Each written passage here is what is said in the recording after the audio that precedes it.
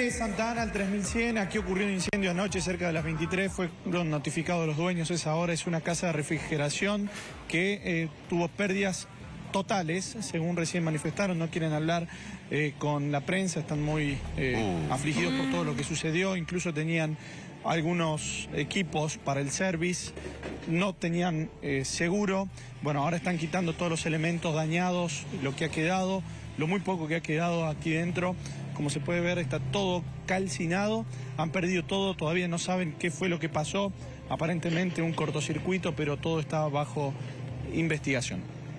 Madre mía, cómo ha quedado eso. Mirá. Una botella Una botella, lo único salvó. que se salvó. Qué bárbaro. Mirá, todo totalmente calcinado. ¿Cómo Pobre no gente. Lástima que no tienen seguro, ¿no? Sí, Porque una pena, con un pobre seguro gente. Pobre gente. algo. Bueno, mirá vos, tantos subsidios que se les dan a las grandes empresas. eh, vendría bien una ayuda para estos pequeños. Ah, qué. Para estos pequeños trabajadores, pequeñas empresitas, que seguramente con esto van a, no sé, se funde una empresita Pero por de supuesto. esta, una empresa familiar. Estas pérdidas son totales, la verdad. pérdidas totales que tienen que este, devolver seguramente a personas que le han dejado para arreglar, pierden herramientas, pierden lo- el local, mira aire acondicionados, No, todo perdido ahí. todo perdido.